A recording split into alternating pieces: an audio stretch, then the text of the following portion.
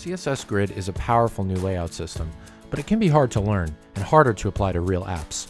With this course, we'll help you understand CSS Grid and show you how to use it with React.js to build amazing industry standard JavaScript apps.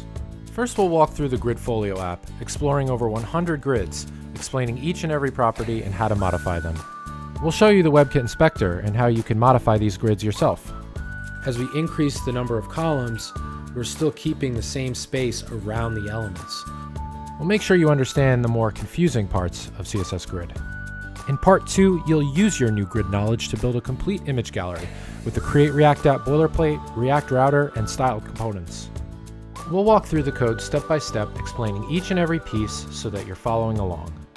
And so now we're switching back and forth, and as we're switching, we're navigating to adding that search parameter. So the main thing that we've done here is we've pulled out the image into an image link. CSS Grid makes it easy to build responsive apps that work for any device. So this is what it looks like on an iPhone 10. You'll see we can choose between two different layouts. With the Styled Components library, you'll easily write CSS inside of JavaScript to style React components. Learn examples of React Router for dynamic client-side routing. While anyone can learn CSS Grid, this course is best for people who already have experience with React and CSS and the basics of web development. Thanks for listening, and I hope to see you there.